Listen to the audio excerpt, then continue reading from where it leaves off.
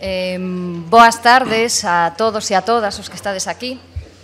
Bueno, pois a tarde do mércores desta semana de filosofía dedicada á saúde, eh, pois a quixemos centrar nun tema que nos preocupa moito na Aula Castelao de Filosofía. Xa sabedes que a Aula Castelao de Filosofía é unha asociación eh, cun forte vencello no ensino dende os seus orixes e que mantén agora ese vencello. Non?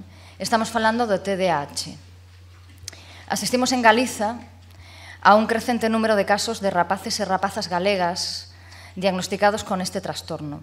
Moitos deles toman unha medicación que consiste en estimulantes tipo anfetamina e preocupanos moito que nenos e nenas galegas estén inxerindo unha droga psicoestimulante aditiva cando aínda estén en período de formación física e mental. O TDAH foi engadido ao Manual de Diagnóstico Estatístico de Trastornos Mentais Norteamericano, DSM, establecéndose unha lista de conductas indicadoras do trastorno sobre as que se basea o diagnóstico. Quizá ves algúns de vós, mm, como profesores, tivechedes que respostar algunha vez a un test, eu sin, máis dunha vez, eh, que non ían rigor moito máis alá dos test da Cosmopolitan ou da Superpop, para contribuir a establecerse un alumno ou unha alumna ten ou non TDAH. O certo é que hoxendía o TDAH é unha cuestión controvertida dentro da propia comunidade científica. Mentres tanto, a industria farmacéutica está extraendo pingües beneficios coa cuestión. A, a vida conta que pola súa propia naturaleza o móvel empresarial e o ánimo de lucro é razoable pensar que os lobbies farmacolóxicos presionarán a profesionais e legisladores no sentido máis favorable aos seus intereses, que son o ánimo de lucro. O TDAH está actualmente eh, consignado na legislación galega como unha necesidade educativa especial. Os profesores recibimos instruccións para baixar o noso nivel de exixencia cos alumnos con TDAH. Non se lles pode pedir que redacten ou que argumenten, senón demandarlles unir con frecha, rodear con colores, resolver exercicios tipo test, encherocos ou respostar a cuestións curtas e concretas, sempre que non sexan demasiadas. Este protocolo educativo, sobre todo se sostido ao longo dos anos, mm, podera ser ou previsiblemente podría ter consecuencias na formación intelectual dos chicos e chicas diagnosticados, teñan ou non teñan o trastorno. Isto introduce unha nova preocupación engadida anterior. Eh, non propiciará o diagnóstico do TDAH un efecto pigmalión sobre o desenvolvemento cognitivo e conductual nos chicos e chicas diagnosticadas legitimador do propio diagnóstico? Ninguén nega que temos alumnos e alumnas necesitados de axuda e atención. Ninguén nega a existencia de problemas conductuais, afectivos e cognitivos, sexan idiopáticos ou adquiridos nas aulas e na sociedade. Pero temos dúbidas que diagnosticar TDAH e drogar os rapaces sexa unha solución real a estes problemas Incluso temos dúbidas sobre se este diagnóstico e a inxesta de anfetaminas non serán en si sí mesmos un factor enmascarador dos problemas reais e das súas causas, ou o que peor, un factor xerador de novos problemas por si sí mesmo. Ante tanta dúbida, decidimos invitar ao profesor Marino Pérez Álvarez, a quen agradecemos moito a súa presencia en Pontevedra esta tarde. Marino Pérez é catedrático de Psicología na Universidade de Oviedo e coautor do libro Volviendo a la normalidad, la invención del TDAH e del trastorno bipolar infantil, escrito xunto a Fernando García de Vinuesa e Héctor González Pardo. Unha voz que se ergue fronte aos pingües beneficios das farmacéuticas e fronte ao recoñecemento e cobertura que políticos e medios de comunicación corporativos lle están dando o TDAH. O traballo de Marino Pérez fundamentase nunha concepción crítica da neuroloxía como explicación última da psicoloxía humana. Na súa obra El mito del cerebro creador, sostén Marino que o reduccionismo da conducta ao cerebro é un síntoma da nosa cultura e non unha verdade científica. A atribución dos problemas a desequilibrios químicos ou a lotería xenética que caracteriza o núcleo do discurso dominante abre a porta á medicalización da existencia, unha existencia sobre a que así renunciamos a responsabilizarnos. Eh, cedo a palabra a Marino Pérez, a quen agradecemos non só a súa presencia en Pontevedra esta tarde, senón toda a súa labor, porque as voces críticas e lúcidas son sempre necesarias.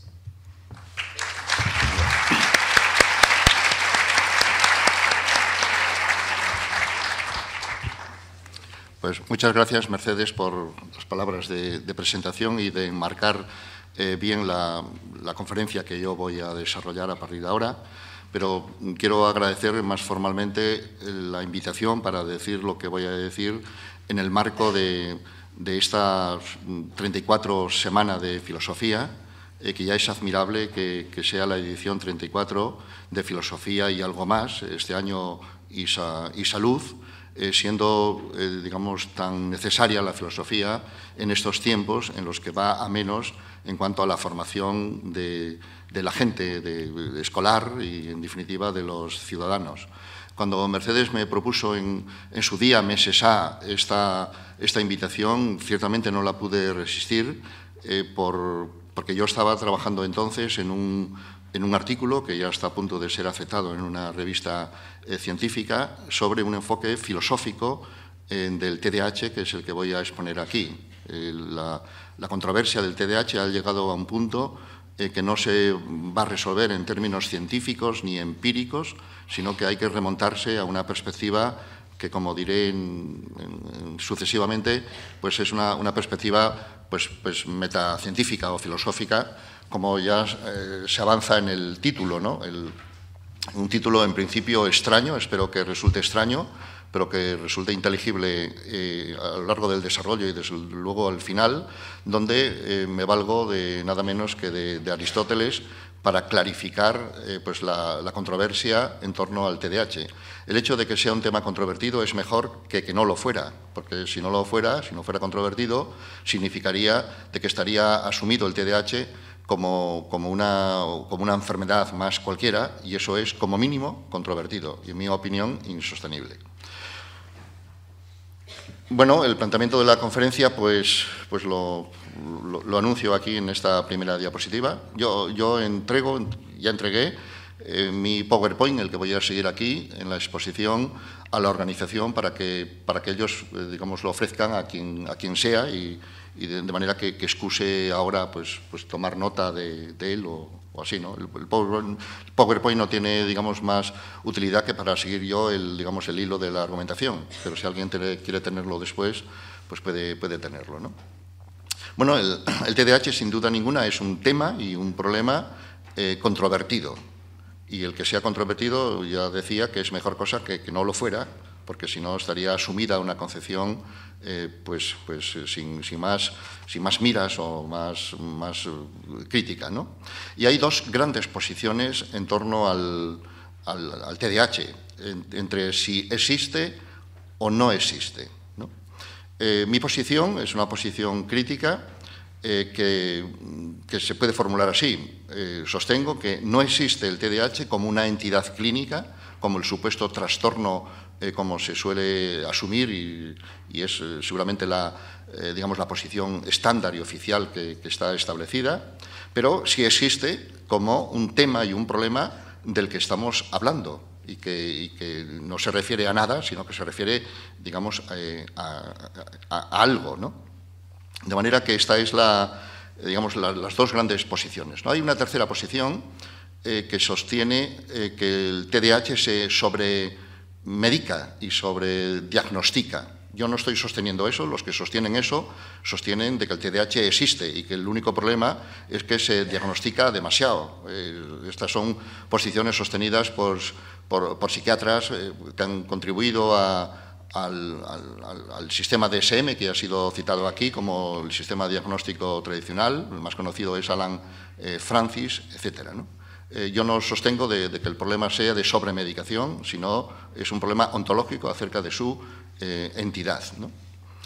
Eh, la controversia hoy día está encallada en un punto en el que ya no, da más de sí, en mi opinión, donde por un lado hay los que podríamos llamar sostenedores del TDAH como una entidad científicamente establecida que ellos dudarían de, que alguien, digamos, no, no, lo, asumiera, y los que se llamarían, ellos mismos lo, llaman, negacionistas, que, yo entraría, digamos, en el capítulo de los negacionistas, eh, que la expresión ya sugiere que estaríamos negando eh, una, realidad, una obviedad que, que, se, que supone ahí pues, eh, pues establecida. Pero el diálogo ya no da más de sí es ya casi como un diálogo de, sordos o de, o de besugos. ¿no?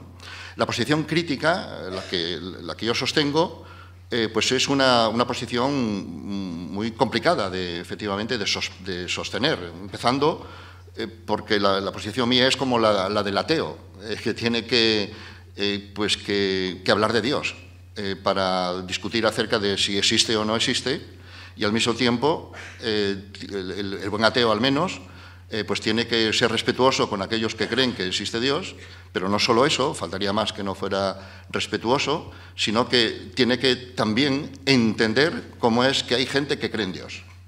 Y entonces esa es mi posición en relación con esta temática, una, temática pues eh, digo, una posición, eh, digamos, complicada, la, digamos, la mía, porque va contracorriente. Y, y, en este sentido supone estar muy al tanto de la literatura, de la, literatura científica en la que se fundamenta la, eh, supuesta entidad clínica del TDAH que yo pongo en, entredicho.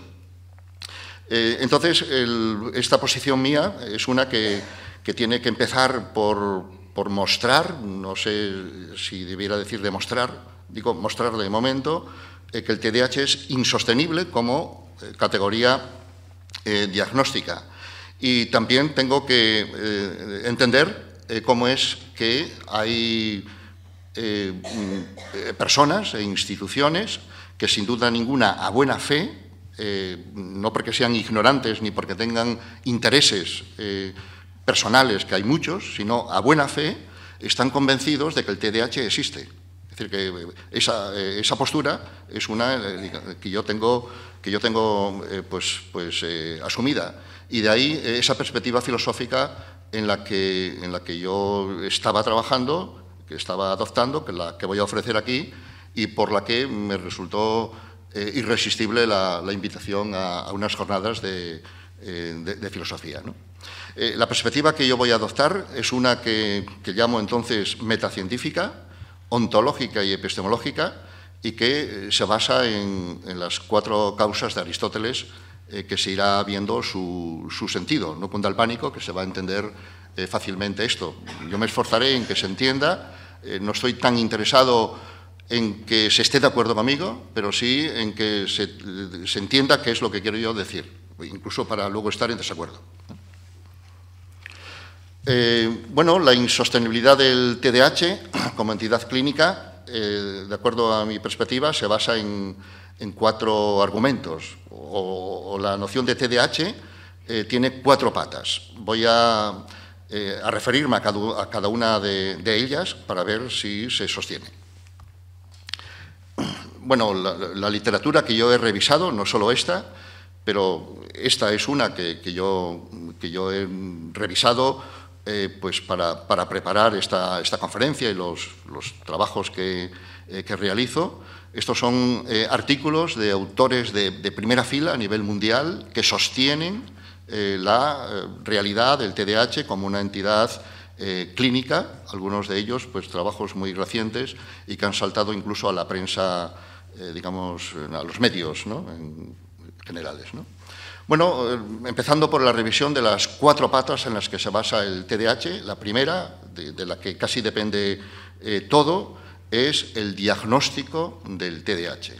Y el diagnóstico del TDAH se puede decir, sin duda ninguna, eh, que carece de validez, que no tiene validez como para eh, entenderse o ser y servir como, como, el diagnóstico de una enfermedad que existiera, eh, digamos, ahí, en la realidad, y que ahora la identificáramos. El diagnóstico se basa en los sistemas diagnósticos establecidos, el DSM, que Mercedes ha citado de la Asociación Americana de Psiquiatría, que se utiliza en todo el mundo, es el que más se utiliza en relación con el TDAH, y también el CIE 10, que es el vigente de la Organización Mundial de la Salud, que es similar eh, al, DSM de, la, Asociación eh, Americana.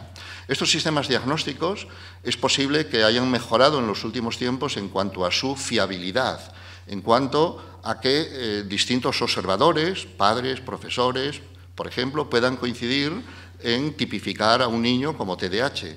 Pero en lo que fallan estos diagnósticos es en lo que se llama la validez. La validez en sentido técnico, en sentido psicométrico, en sentido científico, si quieres decirlo así, se refiere al menos a tres aspectos. el discriminante, el predictivo y el conceptual. El, el diagnóstico TDAH eh, carece de validez discriminante en el sentido de que no sirve para discriminar eh, cuáles son los, los, casos normales respecto de los que pudiéramos decir patológicos. Y no sirve para discriminar tampoco entre, entre el supuesto diagnóstico TDAH y otros diagnósticos distintos a él. Carece de validez predictiva en el sentido de que el diagnóstico no sirve para predecir la evolución que pueda tomar eh, un caso al que se, le haya diagnosticado eh, y tampoco puede, sirve para predecir eh, con qué tratamiento le podría ir mejor. La, la, noción estándar de TDAH asume de una forma dogmática que el TDAH es crónico, de manera que hacen la predicción de que el TDAH es para siempre crónico, lo cual tampoco es el caso y no es entonces una predicción más que dogmática y no atenida al curso de las, cosas. Y en tercer lugar, eh, carece de validez eh, conceptual o de constructo o, que, se refiere a que no se sabe qué es el TDAH, porque luego pues, se entiende de diversas maneras. Así que entonces el, el diagnóstico del TDAH falla por la validez. Esto está reconocido incluso en los contextos, eh, digamos, eh, psiquiátricos en los, que se usan los, diagnósticos. Entonces, ¿cómo, se, ¿cómo, se, diagnostica con tanta, con tanta facilidad y con tanta mm, eh, evidencia, ¿no? con, tanta seguridad? Pues, curiosamente, el diagnóstico se basa en razonamientos falaces, en razonamientos aparentes, pero, pero falsos, eh, que, la gente ni siquiera percibe, entre otras cosas, eh, porque, porque ha desaparecido la filosofía de los planes de estudio. Y entonces ya no se sabe, eh, digamos, entender los silogismos o, los razonamientos que sean esto, lógicos y demás. ¿no? Y en buena, y en buena, en buena medida, o en total medida, el diagnóstico, de, el diagnóstico del TDAH se basa en cuatro razonamientos falaces que están identificados por, por autores que, yo, que yo sigo, o sea, que ni siquiera yo tuve que, digamos, que descubrir esto, sino atenerme a, a otros autores que, lo, que han reparado en ellos, eh, cuatro razonamientos falaces eh, que están identificados en la literatura, que tienen sus nombres propios y que, la gente debiera tener en sus hábitos de razonamiento en la vida cotidiana, pues para que no le vendan la moto en, los distintos contextos en los que nos movemos en la vida cotidiana.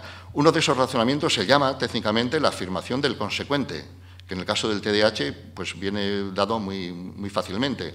Eh, uno de los ítems eh, por los que se suele definir el TDAH en los, que, en los que se basa el diagnóstico es que el niño a menudo no presta atención, a menudo se mueve mucho. Y entonces se saca el, consecuente de que eso, que esa característica del niño, es porque tiene TDAH. Y si ahora eh, le preguntáramos, le preguntara el padre al clínico que le acaba de hacer este diagnóstico, le preguntara, ¿cómo sabe usted que tiene TDAH mi niño? Y entonces el clínico, pues probablemente no podría decir de forma atinada al menos, eh, pues porque a menudo eh, no presta atención, a menudo se mueve mucho. Ese es el típico razonamiento eh, tautológico, de tal manera que, esa, que la noción de TDAH se va a esencializar, se va a ontologizar, se va a reificar, a convertir como, como en una cosa que tiene el niño, no se sabe dónde, y que explicaría lo que, lo que hace o lo que, lo que le pasa. Así que ese es un, se basa el diagnóstico en un razonamiento eh, tautológico eh, como este que, estoy tratando de, desentrañar o de desenmascarar. Y también hay otros racionamientos eh, asociados que refuerzan el, diagnóstico, que también tienen su nombre, su nombre técnico, curiosamente en latín, pero que está eh, la expresión asumida en, todos los idiomas, eh, que es el del non sequitur, el de no se sigue de una cosa a otra. En el caso del, del, TDAH, muy a menudo los niños reciben una, una medicación cuya medicación produce una eh, una aparente o una mejoría, voy a decirlo así, un alivio en las conductas que suelen perturbar o molestar a los adultos, profesores y, padres. Pero de, esa, eh, digamos, de esa mejoría, vamos a, considerarla todavía así, eh, no se deduce que el niño tenga una enfermedad. no se sigue del, del cambio, de, no se sigue del, hecho de que un estudiante universitario para preparar los exámenes finales de junio, si es que todavía hay exámenes finales de junio en estas fechas, eh, que tomándome, eh, digamos, anfetaminas le, vaya bien para preparar el examen, de eso no se deduce que estuviera enfermo, sino que, digamos, que le es útil. Esa es, eh, esa es una falacia. ¿no? Eh, el hecho de que la medicación pueda aliviar los síntomas eh, no certifica que estemos hablando de un, trastorno médico o neurobiológico. Y otro argumento falaz, también tiene un nombre latino, pero también transparente a poco que se repare, es el exjuvantibus, que se refiere a que de la ayuda no se puede deducir, se deduce a menudo, esa es la falacia, no se puede deducir la causa de lo que a uno le pase. Por ejemplo, si uno toma, yo lo hago, eh, eh, una aspirina porque me duele la cabeza y lo más probable es que me alivie el dolor de cabeza, la causa del dolor de cabeza no es porque me faltara a mí aspirina. Pues entonces este es un razonamiento que también está implícito aquí. El hecho de que, de que la medicación ayuda a los niños no está para nada eh, esto certificando, mostrando eh, que sea una condición, una enfermedad o una condición neurobiológica. De hecho, la medicación que se da eh, para el TDAH produce exactamente el mismo efecto, tengas TDAH, tengas el diagnóstico o, no lo tengas, eh, digamos, para, nada. Y no hay otras pruebas objetivas en las que los clínicos se basen para establecer el TDAH, por más que las hagan. Y seguramente las hacen, pues no sé si para darse a sí mismo seguridad o las hacen a lo mejor eh, como pruebas complementarias, pues para, eh, no, sé, pues para, para, no sé si habrá incluso algún caso, eh, pues para cobrar, para cobrar, digamos, las pruebas, ¿no?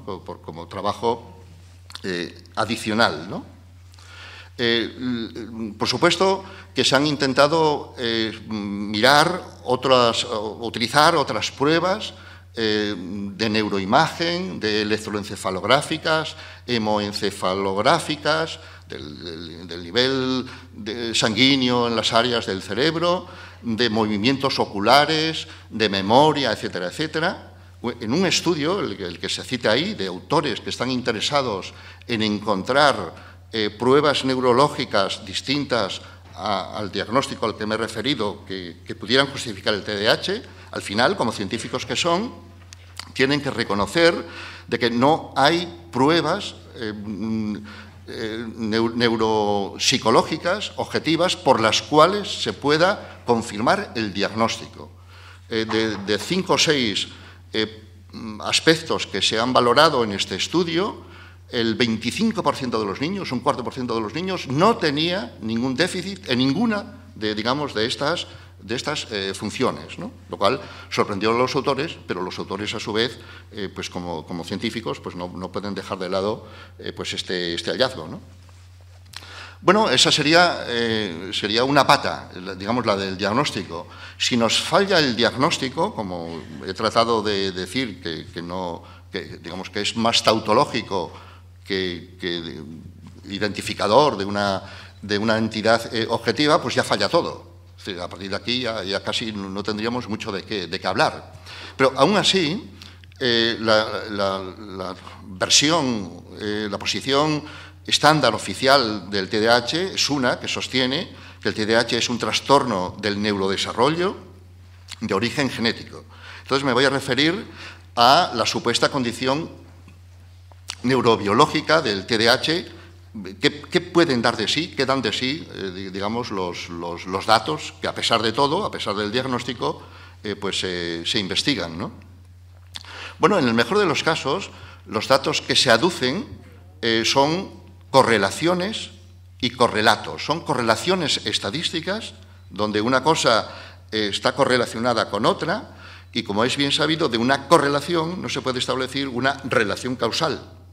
No se puede establecer eh, de, que haya una correlación entre aspectos neurobiológicos y unos conductuales, en el sentido de que los eh, correlatos las correlaciones se refieren a correlatos, a, procesos, en este caso eh, neurobiológicos, que pudieran estar asociados a aspectos conductuales. De la correlación no se puede establecer que los correlatos neurobiológicos sean la causa de las conductas. Podría ser al revés. De hecho, es al revés. que las propias conductas son las que, digamos, activan el cerebro de una cierta manera pero lo, voy a dejar simplemente de que se trata de correlatos y no de hallazgos, de causas o de etiologías. Y después de, revisar los estudios, después de todo lo que, digo ahí, eh, basándome en estudios de autores interesados en encontrar esas condiciones neurobiológicas, dice Tapar y Cooper, en un artículo reciente publicado en una revista muy importante, eh, que he citado antes, pues concluyen que no hay marcadores neurobiológicos diagnósticos. Eh, dice otro autor, eh, los mecanismos subyacentes son desconocidos, no, están, no están establecidos. Los hallazgos de la investigación neurobiológica no tienen aplicación directa en la práctica. Sería para preguntar entonces qué hacen. Eh, que hacen, eh, digamos, los clínicos en, la, digamos, en la, práctica clínica, eh, aplicando pruebas para, confirmar el diagnóstico, si las cosas son como, estaba diciendo, y si no, tienen, digamos, pues eso, no hay marcadores que sean específicos, ni sirven, digamos, en la, práctica. Bueno, es interesante comentar un estudio muy reciente, publicado en en, febrero y que saltó a la prensa, eh, a la prensa mundial, empezando por la, empezando por la española, eh, sobre los, eh, el, volumen disminuido del cerebro en personas diagnosticadas de TDAH respecto de aquellas que no, que no, que no tienen este, este diagnóstico, ¿no? ese, ese, estudio de de Huckman, publicado en, una revista muy importante, en Lancet Psychiatry. Este, este, este, estudio que se publicó el 15 de febrero, a la semana siguiente salió en muchos periódicos. Yo tengo noticia de, La Vanguardia, el, periódico de, Barcelona. Eh, a la semana siguiente de que haya salido en, esa revista, salió un reportaje extensísimo con, un, con, un, gráfico ahí impresionante del cerebro, que no viene en el original del, eh, digamos, del estudio, eh, donde los titulares eh, se referían a algo así como que se ha descubierto por fin que el cerebro de los niños TDAH es distinto en el sentido de estar disminuido en una serie de áreas del tronco del cerebro, etcétera, y demás. ¿no? no estoy yo seguro de, que los periodistas de la vanguardia estén esperando a ver qué noticias salen del TDAH para publicarlas allí, digamos, tan pronto como, como puedan, sino que fue ciertamente filtrado eh, digamos, de una forma interesada, eh, y, esto no, es clandestino ni es ningún delito, pero tampoco hay por qué no decirlo. ¿no? Bueno, eh, afortunadamente contamos aquí con, con, el médico de, de, la, de Javier Peteiro, que es un médico de guardia digamos, en relación con, estas exageraciones que muy a menudo se prodigan en relación con las explicaciones neurobiológicas acerca de trastornos psiquiátricos eh, y demás, eh, pues que, muy pronto eh, también se, se percató de, de, este estudio, de las exageraciones, digamos, a las que estaba dando lugar, y él eh, eh, hizo un análisis acerca de, pues de, la, metodología técnico de, digamos, de, ese, de ese estudio y efectivamente concluye que del estudio, leyendo el estudio en, esa revista, eh, no se deducen digamos, esas conclusiones que luego salen en la prensa o incluso el, digamos, el propio titular de, digamos, de, la, de la revista científica. ¿no? Bueno, todavía reparando un poco más, se muestra en ese estudio eh, que a partir de los 12 años o así, esas diferencias que, aparecen entre el cerebro de los niños llamados TDAH respecto de los que no, que, de acuerdo con Peteiro tiene defectos metodológicos como para no estar seguros de esa diferencia, pero aún eh, asumiendo, eh, digamos, el, estudio publicado, el estudio muestra que a partir de los 12 años esas diferencias se desvanecen, se desvanecen. Luego, entonces, se ha curado solo, por decirlo así, si, si atribuyéramos al tamaño del cerebro, digamos, la, supuesta causa. Y en los adultos, eh, en los adultos esas diferencias, el estudio incluía eh, niños y adultos. Era un estudio sobre 1.713 eh, casos de TDAH de, todas las, edades. En los adultos no hay ninguna diferencia y, sin embargo, el diagnóstico del TDAH en los adultos es, la tendencia de esta época. Es, una, una, tendencia, digamos, que va, que va más, como si dijéramos que ya está asegurado el diagnóstico en la infancia, que eso ya, es, el estándar, por decirlo así, eh, entonces ahora digamos, la ampliación va al ámbito adulto. Bueno, pues ni siquiera ese estudio muestra ese tipo de, digamos, de, diferencias. Y es probable, por mi parte, analizándolo más despacio, es probable que aún si esas diferencias entre, en el volumen del cerebro entre el TDAH y, los que no, podrían deberse a la edad de, lo, de los niños diagnosticados de TDAH y no. El estudio compara por tramos de edad de 5 años, de TDAH en tramos de 5 años respecto de otros eh, sujetos de la misma edad, etc. Pero es bien sabido que entre el 30, un porcentaje alto, no despreciable, no azaroso, de niños que reciben el diagnóstico de TDAH son niños nacidos en diciembre o, si es en Hong Kong, en agosto. Eh, que son los niños, eh, digamos, digamos, más jóvenes, más, más, más inmaduros, por, simplemente por razones de edad, eh, del aula, etc. Entonces es posible que incluso en este estudio esté contaminado por diagnósticos que en realidad lo, que están, digamos, encontrando es que esos niños no han, por decirlo con un concepto también muy confuso, no han madurado.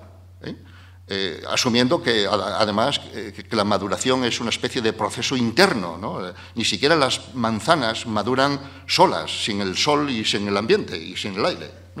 De manera que los niños que maduran o no maduran no es, digamos, una madurez, digamos, interna a un, órgano, sino que la madurez está facilitada o no por las experiencias y las condiciones ambientales. De manera que ni siquiera el argumento de la madurez, eh, digamos, es uno, eh, digamos, que pudiera sostenerse. Pero es significativo eh, que estos estudios saltan a la prensa y, que, cuando reparas en los estudios, el propio estudio no da de sí como para sostener lo que, lo, que llega a la gente. En relación con el origen genético, eh, pues, pues, pues, nada, en vista de lo anterior tampoco es de esperar entonces eh, que haya una, eh, identificación de, genes o conjuntos de genes que pudieran estar en el origen del, llamado TDAH.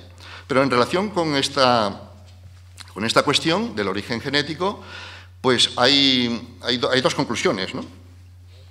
Una es la inexistencia de una evidencia genética molecular, real y a la vez hay una persistencia en afirmar que existe o que se está a punto de eh, identificarla cuando los estudios, eh, digamos, incorporen más sujetos y demás. Esta es la, cuestión que hay aquí.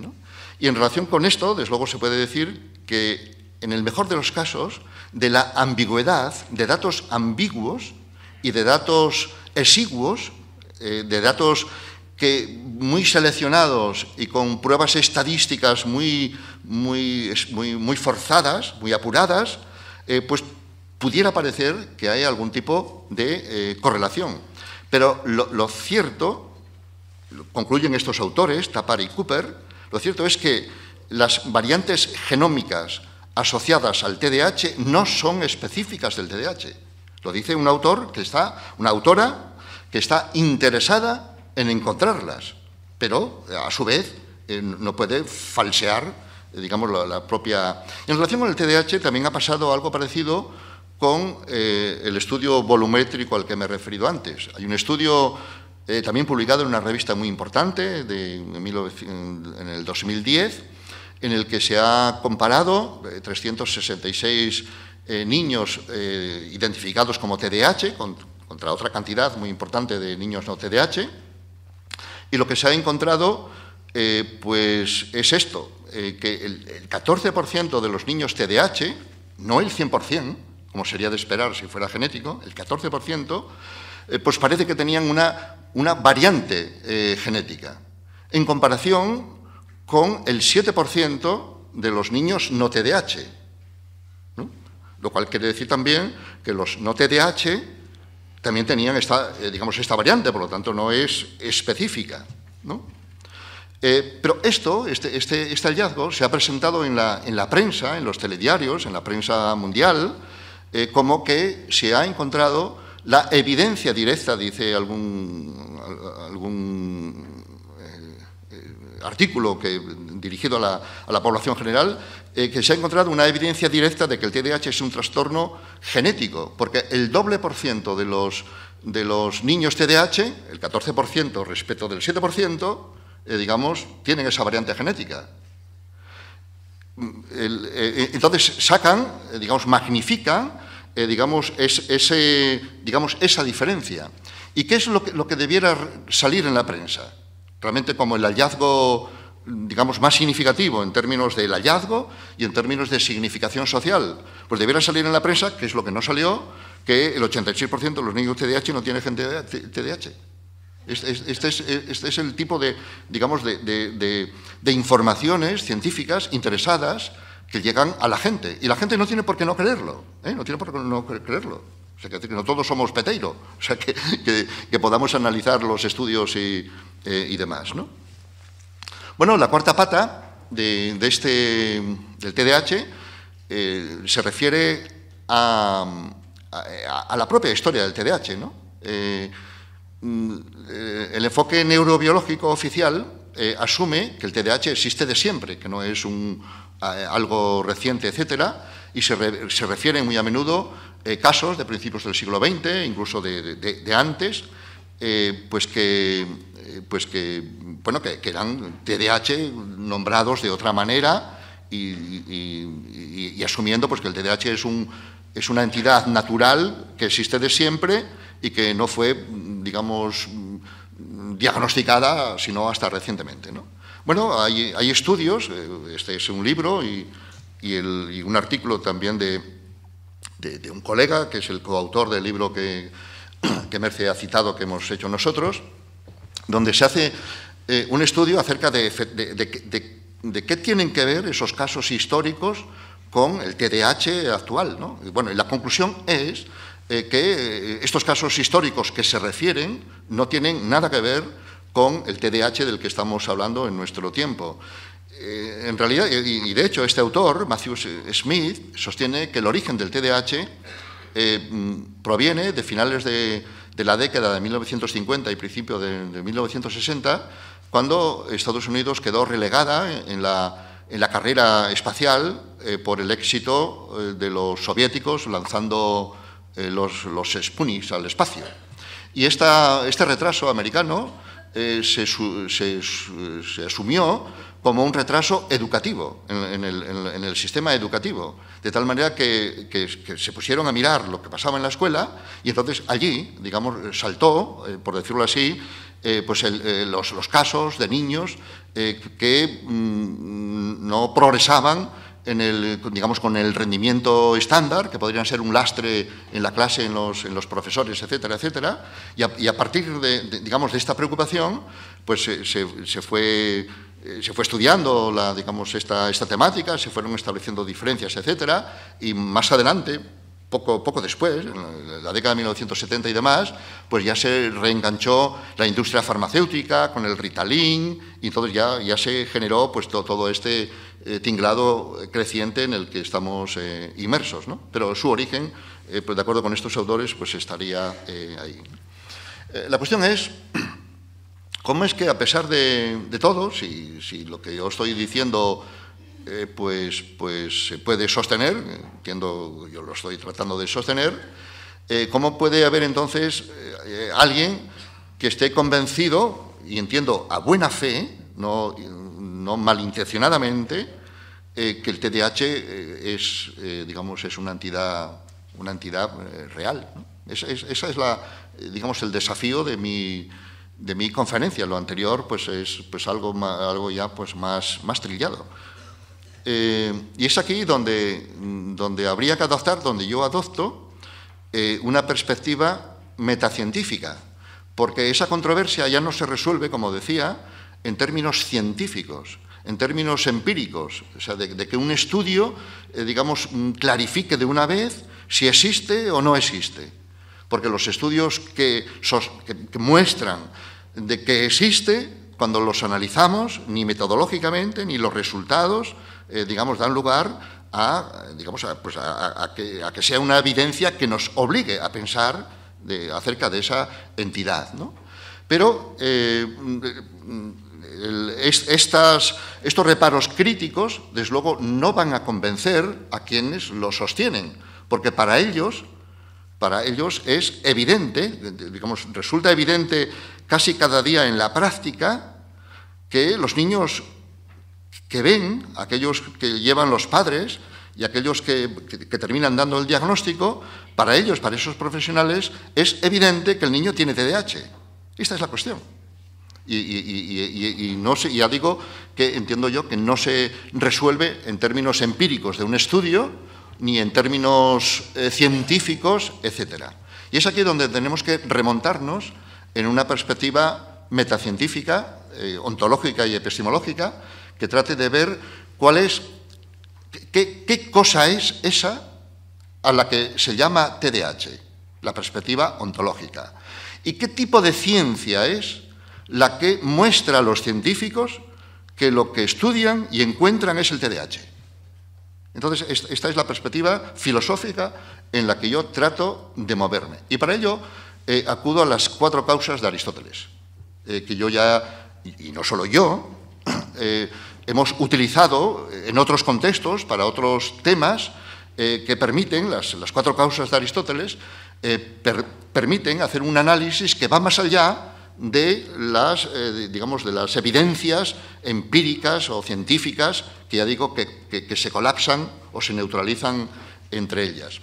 Como se recordará, las cuatro causas de Aristóteles eh, son, son, las siguientes. La causa, la causa material, que se refiere al material de que están hechas las cosas. Si las cosas existen, eh, eh, existen de acuerdo a un material. la causa formal se refiere a la forma eh, que adoptan esas cosas, que si lo son, si son cosas identificables, es porque tienen una, eh, una forma, una identidad que es en realidad su, digamos, su esencia. Materia y forma, en el caso de Aristóteles, están íntimamente, eh, digamos, asociadas, ¿no? constituyen una unidad dialéctica. Aristóteles también incluye la causa eficiente. La causa eficiente pregunta por quién ha hecho, el autor, el artífice, el artista, que ha hecho tal cosa que, estuviéramos analizando. Eh, los ejemplos típicos de Aristóteles pues sería eh, una estatua. Una estatua está hecha de, bronce o está hecha de arcilla eh, y tiene un autor, Fidias o, quien sea. en el caso de una mesa, que no es un ejemplo de Aristóteles, pues una mesa puede ser de, madera, de piedra, de, distintas materias, no de ninguna materia, ciertamente, y puede tener, digamos, muchas formas, pero la forma de mesa no es una, única estructura geométrica, sino es el que sirva las funciones de, digamos, de, eh, mesa. Y esa mesa la, ha hecho alguien. alguien puede importarnos su nombre o no, pero la ha hecho alguien, un carpintero, una, una casa, etcétera, etcétera. Y en nuestra época en la que la gente está interesada en las marcas, eh, la gente es suficientemente pija para interesarse en las, en las marcas y diferenciar, en este caso, una mesa de otra por la marca, pues le interesa mucho la causa eficiente, de si es de, de tal marca o de tal casa o de tal otra. Eh, esta causa de Aristóteles es una muy importante eh, para dar algún paso en los análisis como yo el que, el que voy a hacer. ¿no? En, nuestro caso sería quién hace que el TDAH sea de la forma eh, que es. Y la causa final de Aristóteles pues pregunta por el fin, por a qué sirve esa cosa, para, para qué sirve la estatua. Pues para, para honrar a, quien sea el que figure, eh, con el que se figure la estatua o para decorar o lo, que sea. Eh, en, el caso, nuestro caso, en el caso del TDAH, eh, la causa final se refiere para qué sirve, qué fines está cumpliendo el, el de la manera que se usa porque si no estuviera, cumpliendo algún fin, pues no existiría, no tendría sentido, no iría eh, pues muy, muy lejos. bueno, eh, es necesario considerar eh, que la noción de causa de Aristóteles no se refiere a una causa empírica, como, como, mm, como, sugiere digamos, en nuestro lenguaje ordinario el término, el término causa, sino que en el caso de Aristóteles eh, lo, que, lo, que, se traduce como causa, que es todavía la mejor traducción, eh, se refiere a principios, ¿no? a principios de por qué, del porqué de las cosas. Por eso tiene una escala ontológica, no una escala, digamos, empírica. ¿no?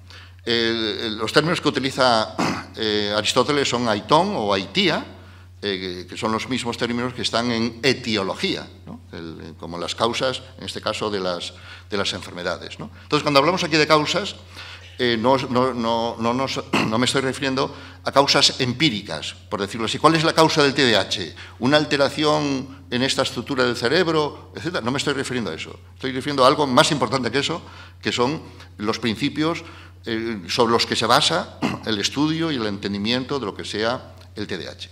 Pues entonces voy a repasar eh, estas cuatro causas de Aristóteles, que he desarrollado en un artículo al que me refería, que está, yo creo que próximo a ser aceptado para, eh, pues para una, revista. Bueno, las cuatro causas, pues yo mismo, pero otros autores, eh, digamos, las hemos, las hemos aplicado en, otros contextos clínicos, pero el último autor que se cita ahí, Killing, eh, pues ha aplicado las cuatro causas al TDAH.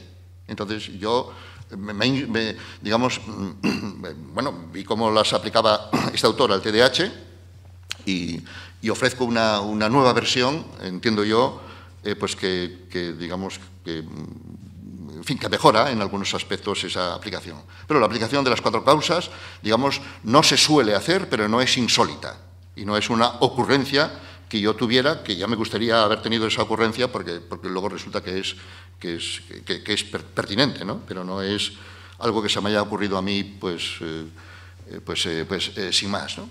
¿Cuál es la causa material del TDAH? ¿De, qué se hace el, el, el TDAH. ¿no? Porque si existe como, como etiqueta, como eh, tema del que hablamos, eh, pues, eh, pues, pues, es que tiene, tiene alguna materialidad.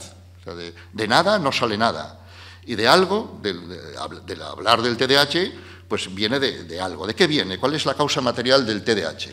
Pues son ciertas conductas relacionadas con la atención, la actividad y la, impulsividad eh, que presentan eh, pues, niños y también, en su caso, eh, adultos, y que pueden suponer algún tipo de, problema. Bueno, al decir esto no estoy, digamos, diciendo nada, nada rompedor ni nada, digamos, ni nada exótico, sino casi poniendo en un determinado orden del discurso, del razonamiento, algo, eh, digamos, conocido. Eh, la causa material, la materia de la, casa de, la que se hace el TDAH, son ciertas conductas de los niños eh, que pueden suponer algún tipo de problema en algún contexto. Esa es la, digamos, la materia en su, en su aspecto pues, más, más elemental. ¿no?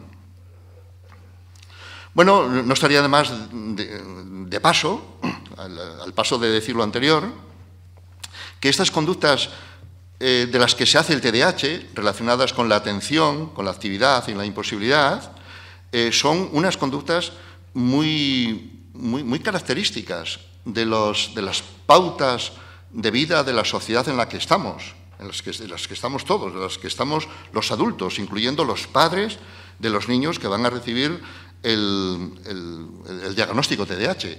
Algo muy característico de nuestra sociedad es que los adultos tenemos que atender a muchas cosas a la vez.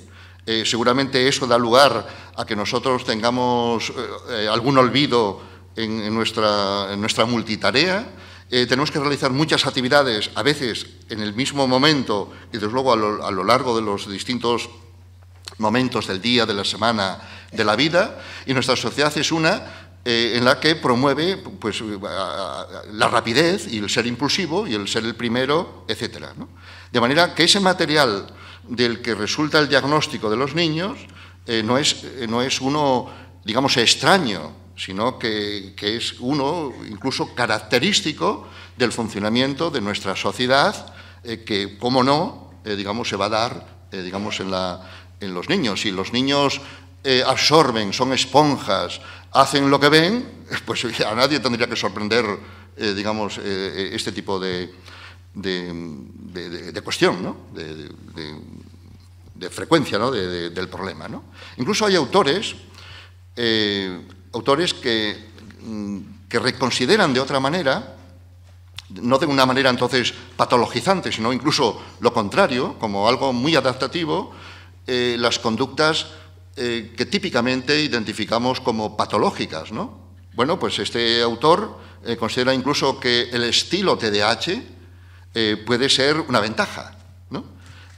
podríamos considerar que las características del niño TDAH tienen que ver con la, curiosidad, con la exploración, con el juego, y todo eso es una ventaja. hay una autora en el libro de la derecha eh, que entiende que, lo que mm, se empaqueta, lo que se etiqueta como TDAH son características de los niños, características de los niños eh, que acaso luego pueden tener alguna repercusión problemática, etcétera, pero son características de los niños. Esta autora se refiere a, la infancia, eh, a la enfermedad llamada infancia. O sea, el TDAH mm, supondría esto. Esta es una autora eh, que también ha destacado y ha sido muy polémica en sus, blogs, cuando llamó la atención acerca de que el TDAH se diagnostica muchísimo menos en Francia que en el resto de países europeos, incluyendo España, con el que seríamos comparables, lo cual, eh, pues efectivamente, daría que pensar cómo es ese, cómo es ese el caso, ¿no? Eh, ¿Cuál es la causa formal? La causa material es la, dicha. ¿Cuál es la causa formal del TDAH? Aquí tampoco hay grandes dificultades, eh, digamos, para establecer la causa formal. La causa formal del TDAH es el diagnóstico establecido, establecido por el DSM o el CIE-10. ¿no? Eh, es un diagnóstico que, no, importa ahora para, este argumento el que sea tautológico, que es tautológico y que tenga unas asunciones implícitas eh, pues que, también serían para reparar en ellas. Pero lo, que hace que esas conductas, vamos a decirlo así, normales, características de los niños, se conviertan en un diagnóstico, es el sistema diagnóstico que, digamos, que se usa, que es el que le da forma, el que conforma que esas conductas tengan la forma de un diagnóstico clínico. Esa sería digamos, la, causa formal que no, entraña en esta perspectiva especiales eh, complicaciones. Bueno, a partir de ahí, de, digamos, de la forma que toman estas conductas seleccionadas de los niños, pues eh, lo que se llama el TDAH termina por objetivarse, eh, por, por reificarse, casi como por convertirse en una cosa, en una cosa al niño eh, que recibe el diagnóstico TDAH, a partir del diagnóstico empieza a ser visto como un niño eh, que es desatento, que se mueve mucho y que es impulsivo. Y todo el resto de cosas del niño eh, que pasan a segundo plano como cosa del fondo. De tal manera que quedan, em, digamos, magnificadas, el niño queda definido, digamos, por este tipo de aspectos, y eso puede dar la impresión tanto a profesores, a padres y a clínicos que diagnostiquen esto eh, como eh, una, eh, una entidad observable. Por supuesto que es observable, pero a costa de estar seleccionando, digamos, aspectos que toman esa forma. De tal manera que esta sería la causa formal. Bueno, la causa formal incluye además modelos neurobiológicos explicativos, o sea, no se queda meramente en un recuento de síntomas, sino en modelos neurobiológicos que te lo explican en términos, en términos de relaciones entre áreas del cerebro, en términos de funciones ejecutivas, es decir, que hay toda una, eh, digamos, teorización eh, acerca del TDAH que termina por darle esa forma, esa estructura de una entidad eh, clínica.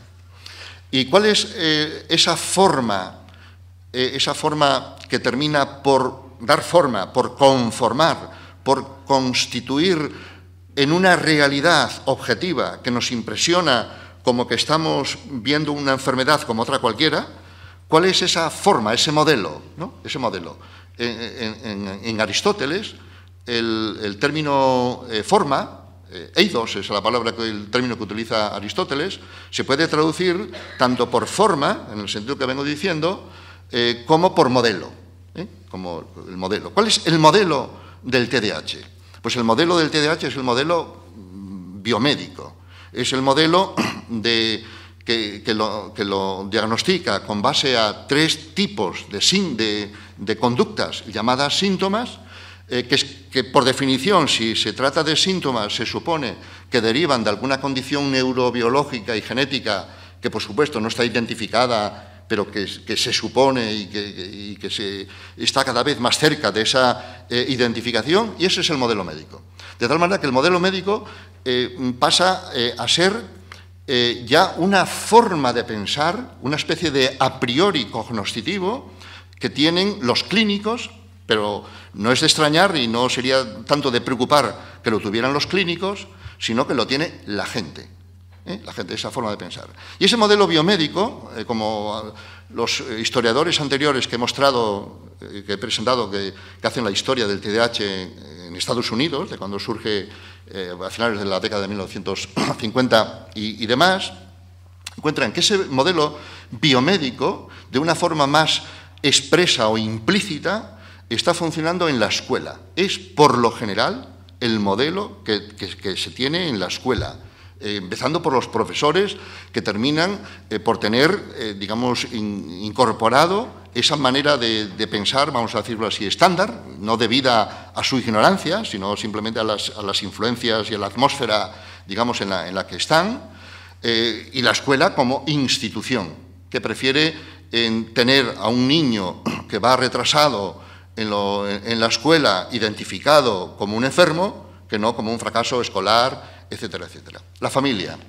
La familia es, otro, otro, son otros actores, otros bien interesados, los primeros interesados eh, seguramente, eh, piensan también, de, digamos, por defecto, eh, por defecto en el sentido de, de, forma estándar, pero por defecto también en el sentido defectuoso, porque no saben luego al final pensar de, otra manera, que el problema, digamos, de su niño es que tiene unos síntomas que se supone que, es TDAH y el TDAH se supone entonces que tiene, eh, digamos, tales causas, tales orígenes eh, y demás. Y, desde luego el, clínico, o sea, digamos, los clínicos, los, los psiquiatras, los pediatras y los psicólogos. Eh, también no se puede generalizar, no, para nada se puede generalizar. entre psiquiatras y, y, psicólogos. Esta polémica de esta controversia del TDAH no es una entre psiquiatras y psicólogos para nada. Eh, hay, muchos psiquiatras, no sé, quizá no sean la mayoría, pero hay muchos psiquiatras que son muy críticos con el modelo biomédico que utiliza la propia psiquiatría y son entonces muy combativos, eh, digamos, en esta perspectiva que es la misma que yo sostengo. Yo me baso en muchos psiquiatras que tienen esta perspectiva. Y por su parte hay muchos psicólogos eh, que siguen la perspectiva psiquiátrica biomédica eh, como si ellos mismos, esos psicólogos, estuvieran funcionando como, como, nada, como psiquiatras junior, ¿no? como, con, el esquema diagnóstico. Así que, digamos, la polémica no es... También, eh, también existen muchos padres, ¿eh? también existen muchos padres que son reactivos, padres incluso, yo he oído la expresión algunos de ellos, indignados por la presión que reciben de, de muchos sitios eh, para que su niño sea finalmente diagnosticado con TDAH y medicado. Entonces los padres también son reactivos y, digamos, e indignados respecto de, esto. La diferencia está en que los padres eh, reactivos eh, no están organizados, como lo están aquellos, digamos, que, siguen la, digamos, la versión estándar que yo entiendo fácilmente porque la siguen, además, ¿no? porque ellos, sin duda ninguna, lo que quieren es lo mejor para los niños, pero muy a menudo su información eh, puede estar también muy eh, mediatizada. ¿no? Esta sería la cuestión. Así que entonces, el modelo biomédico es el modelo, es la forma que adoptan ciertas conductas de los niños que podrían ser efectivamente problemáticas. Y esto da lugar a lo que podríamos llamar un efecto túnel, de tal manera que ahora solamente vemos en el niño esos aspectos relacionados con esos llamados eh, síntomas y, entonces ya un niño TDAH con unas determinadas características y un efecto zoom en el sentido ya dicho de que ahora quedan magnificadas ciertas conductas de los niños eh, que son las que tipifican el TDAH y otros aspectos de los niños eh, pues quedan digamos diluidos. Ya, ya la gente ya ve a los niños como TDAH y lo que es peor, los niños terminan viéndose a sí mismos como TDAH también. Esa, esa, sería, digamos, la... Bueno, entonces, eh, en la medida en que el, eh, diagnóstico, eh, aunque sea tautológico, no deja de ser efectivo, o sea, no deja de funcionar tautológicamente, pues termina por establecer unas diferencias entre niños TDAH y no TDAH. Y a partir de ahí se establecen, digamos, estudios que extreman esas diferencias y que, van y, que tratan de encontrar esas diferencias. Y, si las buscas y extremas eh, esas diferencias, pues paras a encontrar, no encuentran diferencias significativas, específicas, pero eh, eh, lo poco que encuentran lo magnifican como siendo una evidencia de esa diferencia, como ya he tratado de demostrar. Y como muy a menudo esas diferencias no se encuentran, se suplen con retórica y metafísica, que tenemos que también, eh, digamos, mm, ver en, eh, digamos, en la literatura científica. La literatura científica, eh, por más científica que sea, de acuerdo con los estándares científicos, no deja de tener una retórica, una manera expositiva, persuasiva acerca de sus resultados, y no deja de tener una metafísica eh, de asunciones implícitas, no discutidas, que dan lugar, eh, digamos, a, esa condición. Bueno, en relación con la retórica y metafísica implícita de la neurociencia del TDAH, pues yo destacaría, mm, sin entretenerme aquí para seguir adelante, pues dentro de la retórica, eh, pues hay varios, varios aspectos ya, ya, fin, que, debieran llamar la, la atención. O sea, por un lado ya es hablar de síntomas. O sea, hablar de síntomas ya es, ya es eh, eh, bueno, por supuesto, perjudicial, es prejudicial. O sea, ya supone un prejuicio previo acerca de que esos comportamientos de los niños, si quieres, problemáticos, son síntomas. Yo esta mañana fui entrevistado por, por periodistas bien intencionados acerca de esto. Pues, entonces, dígame, ¿cuáles son los síntomas? Es una manera ya mala de preguntar, o sea, de preguntar, porque se está presuponiendo que son síntomas. Llamando síntomas, al llamar síntomas algo, se está prejuzgando que es una enfermedad. Entonces no es neutro el lenguaje. Eh, nosotros, eh, el lenguaje para nosotros no es una herramienta que usemos, que, lo, que, es, que, también, sino que el propio lenguaje nos usa a nosotros. Entonces, eh, cuando nosotros hablamos de síntomas, ya estamos prejuzgando algo que, digamos que no está evidente, que no, que no, es obvio, que digamos que así sea. En segundo lugar, los razonamientos tautológicos son son transparentes en el sentido de, pasan desapercibidos, pasan desapercibidos como algo obvio, ya, los he señalado antes. Luego están los falsos consensos. Eh, muy a menudo en la literatura científica, eh, como no hay hallazgos contundentes, eh, digamos que nos obligaran a, asumir una, una evidencia, como no los hay, lo que hay es consensos de expertos donde se reúnen expertos eh, mundiales eh, para establecer eh, consensos, patrones, pautas de, conclusiones, etc. muy a menudo esos consensos son falsos consensos en el sentido de que están realizados por expertos que están plagados de conflictos de intereses y que incluso a buena fe, no estoy negando aquí, digamos, la buena fe, pero la buena fe no, deja de incurrir, eh, digamos, en, falacias, eh, pues establecen conclusiones que, digamos, que, están, interesadas sin, que estén, por decirlo así, los intereses a la vista. Por poner un ejemplo, eh, esta es una revisión muy importante hecha por autores muy importantes eh, a nivel mundial, líderes en, el TDAH, incluyendo alguno español, eh, una revisión en una revista muy importante y simplemente lo que he puesto ahí es que todos esos autores están plagados de conflictos de intereses declarados, ¿eh? los que tienen declarados, que no, que no me cabe en la diapositiva, no me cabe. O sea, esto va hacia, hacia abajo, ¿eh? o sea, no, no cabe utilizando la letra. Otro consenso, el tipo Delphi, eh, también muy, muy influyente, de autores, de autores españoles en este caso, eh, claro, esos consensos son los que luego van a servir a los ministerios, los que van a servir eh, digamos, las, asunciones de la gente acerca del TDAH, etcétera. Eh, bueno, pues, pues nada, tampoco caben, digamos, aquí en la diapositiva los conflictos de intereses declarados que ellos tienen. Como mínimo es como para dudar si acaso eh, digamos, esos conflictos de intereses les lleva a ellos, de, una forma inconsciente, bien intencionada incluso, a eh, pues, asumir eh, pues unas, digamos, una, una, retórica, ¿no? un estado de la cuestión. ¿no? Bueno, muy a menudo se utiliza la expresión datos convergentes, eso es, forma parte de una letanía de, muchos, de muchas revisiones, según la cual, como no hay ningún, ningún dato firme, de, muchos datos, de, cientos, de montones de datos inconclusivos, por amontonamiento de datos eh, eh, inconclusivos, se saca luego la conclusión de que hay una evidencia. Y entonces se utiliza muy a menudo la fórmula datos convergentes. Eh, todos ellos van como convergiendo en la misma dirección, pero ninguno, por decirlo así, digamos, es, es, fehaciente. ¿no?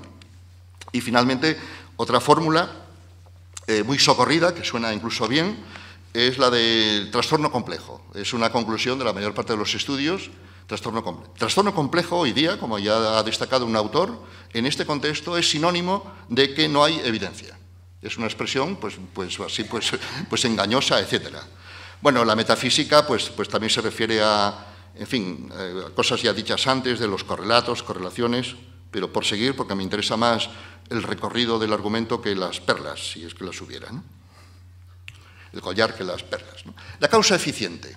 Hemos visto la causa formal, perdón, la causa material, las conductas, la causa formal, el modelo biomédico eh, al uso, establecido no solo por los clínicos, sino en los contextos institucionales, escolares, familiares, etc. La causa eficiente pregunta por qué o quién. En el caso de Aristóteles, la pregunta es más bien quién, personal, ¿no? ¿Quién hace eh, que, las cosas sean, eh, sean así, ¿no? La verdad es que es muy complejo ese, ese, proceso, ¿no? Es, eh, muy, muy, complejo mm, y no tiene un único, un, único artífice, ¿no? Por decirlo así, ¿no? Sino que, pues que que hay un entramado ¿no? de, eh, digamos, en este proceso eh, diagnóstico. Quien finalmente establece un, diagnóstico, eh, digamos, legítimo, o sea, el, que, se, el que luego se, es fehaciente en los, en los informes, el que se lleva a la escuela, el que se utiliza para reclamar las, ayudas, etcétera, lo ofrece un clínico, típicamente un médico, un psiquiatra o un pediatra, que digamos que como médicos eh, legitiman justamente ese, ese diagnóstico, pero eh, los médicos no andan buscando por ahí a los niños eh, tampoco. A los niños se los llevan allí muy a menudo, una, una, situación típica, pero, pero como típica no, es, no totaliza todas las, las posibilidades, es en la que efectivamente los padres, a menudo presionados por la escuela, pues llevan al niño al, al clínico eh, pues por ese problema, entonces el, nada, el, clínico establece ese diagnóstico de esa forma tautológica a la que me he referido, y es el, finalmente el, el clínico remata con su informe o su diagnóstico eh, pues todo, todo un, eh, un, proceso de, digamos, de, fuerzas, de influencias, de presiones, de maneras de pensar que vienen ya de la escuela, de la, familia, y si la familia, naturalmente, antes de ir al clínico, eh, se ha metido en Google, digamos, ha consultado a las asociaciones de padres de, como dicen, de afectados de TDAH, pues va a encontrar una información convergente, eh, digamos, en esa, en esa línea. Entonces, el clínico que da el diagnóstico, eh, pues cree haber descrito una realidad objetiva cuando también eh, puede que la haya creado él mismo, que la, pueda, que la, pueda, él, eh, por decirlo así, objetivado eh, con su manera de pensar. Y aquí nos viene al caso pues un, el, llamado, el llamado efecto Charcot, de un, caso histórico de finales del siglo XIX, eh, donde un psiquiatra, un neuropatólogo entonces, Charcot, eh, pues creía estar describiendo eh, un trastorno psiquiátrico llamado de, gran histeria, de ataque de gran histeria, muy, objetivo, muy observable, que todos los asistentes a sus sesiones podían observar en las sesiones clínicas ese gran ataque de histeria, etc. era entonces observable, efectivamente. Eh, pero ese gran ataque de histeria estaba inducido por el propio Charcot con sus preguntas, con sus explicaciones, con el contexto que creaba, de tal manera que Charcot terminaba por, eh, mm, por creer, eh, por describir lo que él mismo prescribía con sus, con sus acciones. ¿no? Eso es algo ahora muy, muy bien conocido en, en, la distancia. Este es el amigo Charcot, eh, que está ahí en el centro, pues, explicándolo a los, a los asistentes allí, que eran, eh, serían los que se llamarían hoy eh, MIR, o sea, los neuro, neuropatólogos en formación. Algunos de esos eran, eran Gilles de la Tourette, eran Babinski, neuropatólogos importantes en la vida. Ahí estuvo, no ese día del cuadro, pero ahí estuvo como asistente en un Erasmus que hizo en su día Freud, en las sesiones de Charcot. Y Charcot nos está explicando ahí a esa gente, eh, que no eran entonces gente, digamos, corriente, turista, no eran turistas, no era clase turista, ¿no? era gente, eh, digamos, interesada y selecta eh, y, formada, etcétera, pues está explicando ese ataque que va, que, va a comenzar pues, pues, de un momento a otro por parte de esta paciente, Mademoiselle Blanche, que era la, la, histérica, digamos así, prototípica de, digamos, de, esta, de esta exhibición. Y efectivamente, pues eh, Charcot llegó a, describir eh, un gran ataque de histeria eh, del que hay fotografías, del que hay dibujos, del que hay, del que hay cantidad de imágenes, etcétera, y que tiene ese aspecto espectacular. ¿no? Pues todo eso fue inducido de alguna manera por el propio, el propio Charcot. Digamos que creía estar describiendo un fenómeno natural. Yo creo que ahí, incluyendo el público, la única persona lúcida que había era la histérica, que estaba, eh, que estaba realmente, digamos, contribuyendo a su, digamos, al, papel con, la conciencia de, digamos, de, estar haciendo lo que no podía dejar de hacer y lo que era su, etcétera, etcétera. ¿no? Pues ese efecto Charcot, que nosotros hemos descrito pues, por ese nombre en una, en fin, también en una publicación. Eh, lo, hemos, eh, lo hemos utilizado en un primer libro del 2008 sobre, sobre los adultos y luego finalmente pues el, también sobre el TDAH, el, libro que hemos, eh, que hemos referido. Bueno, entonces lo que puede estar dándose en relación con el TDAH es una especie de efecto Charcot eh, en, la, que los actores, empezando por el clínico, eh, puede estar tanto objetivando él, creando el objeto, tanto más que describiendo una realidad que estuviera ahí para ser descubierta, identificada con sus técnicas, etcétera, etcétera. Entonces, ese efecto Charcot es uno, hoy día, que no se circunscribe al hospital en el que estaba Charcot, sino que tiene, yo creo que, eh, digamos, un funcionamiento, pues, eh, pues digamos, muy, muy general. ¿no? Eh, hay, aquí una, Ahora que lo veo, pues, bueno, y, tiene, el caso, naturalmente no, me está sorprendiendo porque aparezca aquí esto, ¿no? Pero, eh, pero para, explicar este, este fenómeno, ¿no? Este fenómeno de, cómo niños eh, identificados como TDAH, de acuerdo a, esos criterios que, vamos, que, se usan, tautológicos, cómo se puede ir generando respecto de niños no TDAH, o sea, digamos, cómo al establecer esta dicotomía, esa dicotomía puede ir creando una objetividad que no existe de origen. Y entonces hay, ejemplos que, digamos, mm, que, muestran cómo esto puede estar dándose en el TDAH. ¿Qué pasaría si distinguiéramos a las personas por ser taxistas y no taxistas? Es muy fácil de establecer, eh, digamos, la, diferencia. Taxistas, pues está muy claro, tienen carrera de taxista y trabajan de taxista y el resto de personas, que sería la inmensa mayoría, no son taxistas. Esa sería la población, por decirlo así, eh, normal. O entre los que son músicos y no son músicos. Y dentro de los que son músicos, los que tocan el piano o tocan el violín. Bueno, pues si establecemos esa diferencia y cogemos mil taxistas respecto, y los comparamos con diez mil personas de la misma edad, de las mismas ciudades que no son taxistas, pues es posible que encontremos alguna diferencia eh, alguna diferencia, sin eh, ir a buscar ninguna concreta, eh, digamos, por acumulación de miles de datos, es posible que aparezca alguna a partir de la cual se establezcan esas diferencias. Bueno, pues esto es lo que pasó en relación con los, con los taxistas, por recordar un estudio muy célebre, pero, pero no por ser célebre debemos dejar de recordarlo porque, porque es muy, muy claro en esta, en esta argumentación. ¿no? Estudios publicados en, a partir de 2002 y confirmados más veces, eh, donde se estudiaba a taxistas de Londres, eh, pues que, requiere una habilidad para aprobar el, examen, eh, de, para obtener, diríamos, en Pontevedra la tarjeta de taxista, tienen que hacer un examen que, el examen del MIR y del PIR es, de niños, comparado con lo que tienen que, aprender los aspirantes a taxistas. Y ser taxistas en Londres requiere una habilidad de memoria espacial impresionante. impresionante ¿no?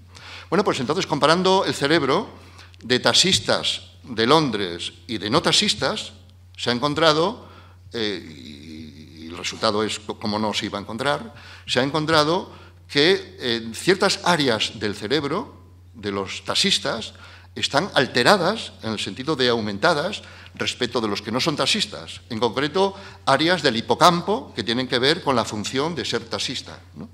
De tal manera que, extremando esas diferencias, llegamos a que el cerebro de los taxistas es diferente. Que yo sepa, a nadie se le ha ocurrido decir que tener el hipocampo alterado es la causa de ser taxista. Y, la condición de ser taxista, gracias a la mm, plasticidad del cerebro, pues alteró las funciones del cerebro implicadas. En el caso de los músicos, exactamente lo mismo. El cerebro de los músicos, en virtud de las miles de horas, nadie es un gran músico a menos que practique 10.000 horas de, entrenamiento, siempre, digamos, superando los niveles anteriores, no meramente por estar inmerso en, un ambiente de música puedes estar mil años y, no, estar igual al final que al principio, pues efectivamente eso termina por eh, alterar eh, la, estructura y la funcionalidad de las áreas del cerebro implicadas en la digitación en el piano, en la digitación del violín, en cada caso, digamos, eh, la suya. Y de nuevo, esa correlación entre eh, estructuras cerebrales y la actividad musical, eh, esa correlación, en este caso, implica una relación causal, pero no del cerebro. No tener el cerebro alterado es la causa de ser músico, sino, obviamente, digamos, al revés. ¿no? Bueno, pues eh, e, este tipo de, digamos, de estudios que se hacen en el TDAH eh, pueden estar o pueden entenderse, eh, digamos, también de acuerdo con esto. Yo ahí me, he gastado una pequeña, una pequeña broma. Si, ahora en vez de taxistas o músicos cogiéramos una, una población entre los sostenedores del TDAH y los negacionistas. no, se ha hecho ese estudio, es, una broma así, pues, mm, pretendidamente graciosa, pero que, tiene que ver con el argumento que estoy, desarrollando. Estos, sostenedores del TDAH podríamos identificarlos por ser col, ¿no? por ser col. Eh, col es una expresión eh, inglesa ya internacional eh, para referirse a, los que son líderes de opinión. Col son líderes de opinión de las distintas ciencias, típicamente en medicina también, en, psiquiatría, personas que por su puesto y por su, por su reconocimiento, sus opiniones son muy influyentes. ¿eh? son muy influyentes. Y muy a menudo estos col, estos líderes de opinión, o sea, cuya opinión influye en el, mundo, etcétera, pues son eh, mm, personas que tienen conflictos de intereses, que están subvencionados por la industria farmacéutica, que les paga conferencias, eh, subvenciones para investigaciones y demás. Y no sería nada difícil identificar a cientos de col con conflictos de intereses para constituir un grupo de 500 o de 1000 y compararlos con, eh, pues con los negacionistas, eh, no sé si seríamos tantos, eh, entonces que nos hicieran a lo mejor un estudio de, qué sé yo, también del cerebro, a ver si se encuentra algún tipo de diferencia. Es posible que se encontrara algún tipo de diferencia, ¿no? ¿Y, qué significaría eso? ¿Qué, significaría esa, esa, posible diferencia?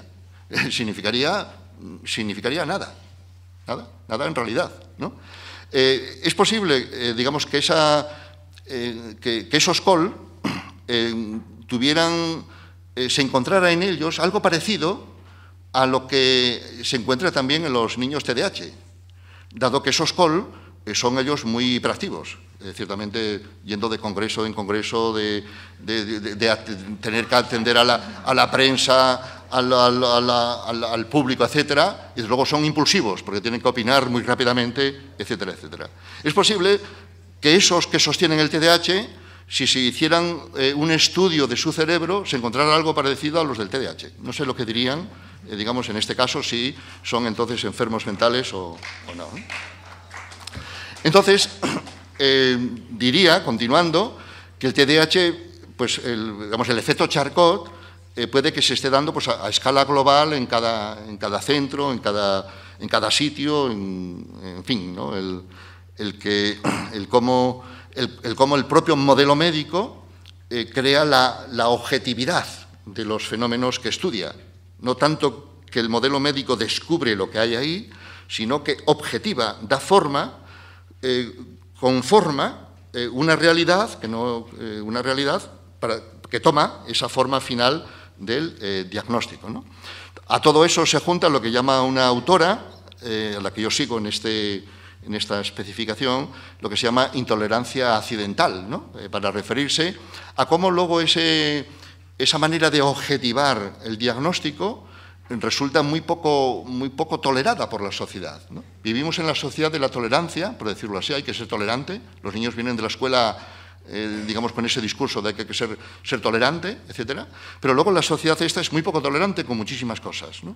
Eh, y, en este caso, en relación con, los niños, con los niños no, es, tolerante, eh, porque, porque los diagnostica, los, medica y los, clasifica y los sitúa como diferentes a los niños, no TDAH y demás. ¿Cuál es la causa final? Ahí me ha salido eficiente, y yo creo que esto es un problema de atención mío y de, por la hiperactividad. Y con este fallo y pocos más, eh, uno, un adulto, yo mismo daría para el diagnóstico de TDAH adulto. Yo me he aplicado el, diagnóstico de, de, la OMS, uno que se puede encontrar en, Internet, de, TDAH, y desde luego puntúo en, digamos, en, los criterios de, TDAH. Y, y casi sería para sospechar de que quien no puntúe, un adulto, eh, digamos, que, esté en alguna actividad profesional, que no, es, que no esté jubilado o que no sea un turista low cost eh, a tiempo completo, pues eh, un adulto que, esté implicado en alguna actividad que no puntúe en TDAH sería sospechoso, de, que no está tomando muy en serio su trabajo y que no está, etcétera. Pero aquí se debiera decir causa final, no causa eficiente, causa final del TDAH. Entonces, si el TDAH existe de la manera que existe, es porque cumple funciones, porque funciona, porque, porque tiene algún, algún fin más o menos expreso o implícito, muy a menudo implícito, pero no dejan de ser fines, eh, digamos, efectivos. ¿no? Y bueno, pues en, está descritos varios, eh, varias funciones que cumple el diagnóstico TDAH, a pesar de ser tautológico, a pesar de ser falaz, todo, todo lo anterior. ¿no? Cumple una función explicativa, eh, por la cual eh, la sociedad, empezando por los padres, encuentran una explicación a ciertos comportamientos de los niños que les preocupa y que suponen efectivamente un, un problema. Tiene una función autoafirmativa, sobre todo por parte de los adultos. Yo me estaba refiriendo a los niños, pero la moda y la tendencia hoy día es al diagnóstico de los adultos. Y los adultos están encantados de recibir el diagnóstico de TDAH porque se autoafirman a sí mismos también y ante los demás de que sus problemas, sus dificultades, el que no estén, eh, digamos, eh, eh, funcionando al, digamos, al nivel que se esperaba, que ellos mismos esperaban de funcionamiento, se debe a que tienen TDAH, que acaso lo fueron y entonces no se les diagnosticó de, pequeño. Tienen una función exonerante, porque exonera en su caso a los padres y en su caso a los propios adultos TDAH, pues de, revisar cómo es su vida, de ver, digamos, los aspectos del contexto y del ambiente de los cuales podría depender el que uno, digamos, pues tenga, tenga esas dificultades, vamos a, estamos asumiéndolas, etcétera, y tiene luego una función reivindicativa en la medida en que el TDAH está reconocido como una, eh, digamos, una necesidad especial, etcétera, pues, pues, pues tiene, una función reivindicativa eh, pues, eh, ante las instituciones, en los contextos, etcétera, etcétera, etcétera. Entonces, el, diagnóstico TDAH al final armoniza una variedad de intereses, digamos, de, cumple fines que le sirven a los padres, a la escuela, a los clínicos, a la industria farmacéutica, ya no, digamos, y, la pregunta sería, ¿dónde está el problema? Claro, el problema no está en ningún sitio. todos están contentos. El, único que pudiera eh, resultar perjudicado es el niño y no se va a enterar, porque está inmenso en esta, en esta cuestión. Entonces, para ir terminando, eh, pues sería hora de pensar, pero no soy yo eh, digamos, no, no, soy yo optimista en esto, o soy tan optimista como la remontada del Barcelona hoy. Es decir, que no, no, no me, estoy, no me hago ilusiones, eh, digamos, acerca de esto, pero no quiero terminar mi exposición para luego exponerme a los comentarios y objeciones que resulten del público aquí, aquí atento y no hiperactivo por lo que veo. Pues, eh, pues no, no quiero dejar de decir cómo podríamos salir eh, volver a la normalidad. Eh, ya digo que, quien pudiera hacer esto, pues, pues, pues eh, se ganaría, se ganaría pues la, digamos, el, Nobel ¿no? en, esta, en esta temática. ¿no? bueno, no, es fácil, ya digo que no, yo no, no, creo que se vaya a salir de esto. Ya, de entrada ya digo que no, que no vamos a salir de este tinglado en el que estamos montados. Es mejor que haya crítica que no que no la haya. Y yo creo que es buena cosa que jornadas como esta, eh, digamos, incluyan esta perspectiva que no, que no la incluyan.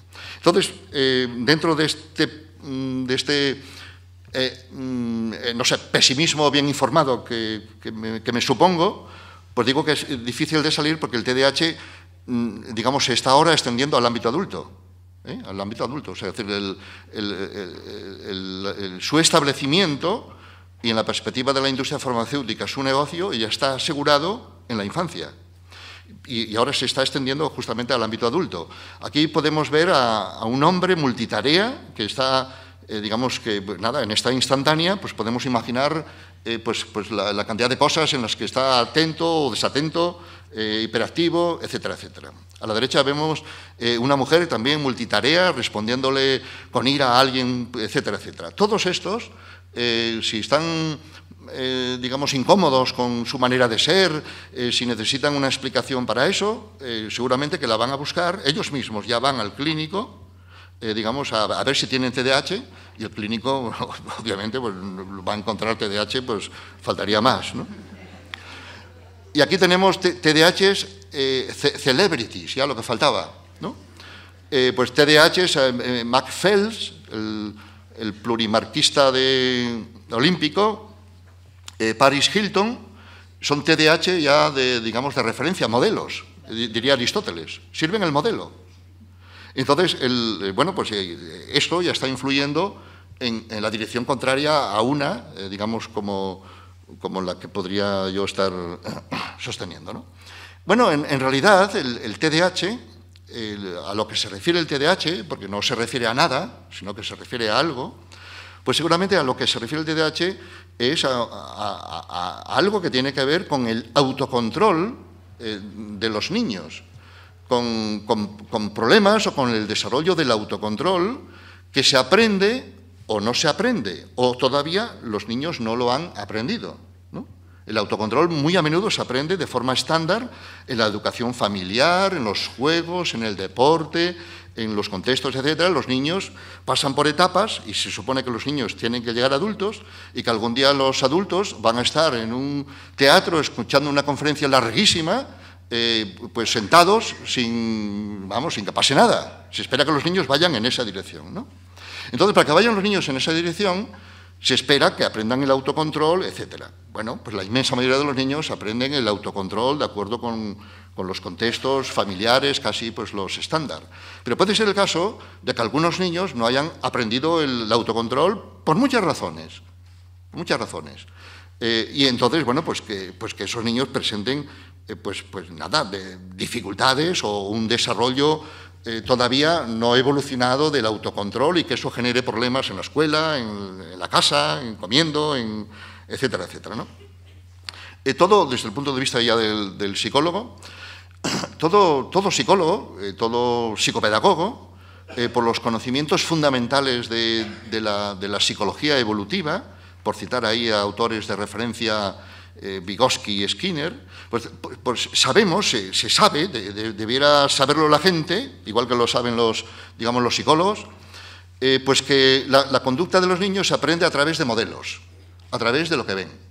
Eh, se aprende a través de contingencias, a través de las cosas que ocurren después de que tú haces algo. Si el niño hace algo, algo digamos, que no está bien, y se hace un homenaje en casa, de, digamos, del niño, o el niño nunca, eh, digamos, tiene correcciones o no tiene líneas rojas, pues lo, que es de esperar es que el niño haga lo que quiera y que se convierta en el dictador de la, familia, como titula un autor pues, un libro sobre esto. Reglas.